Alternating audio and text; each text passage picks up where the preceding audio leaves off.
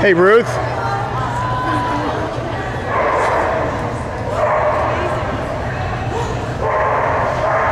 Hey, Ruth, give the dog a treat.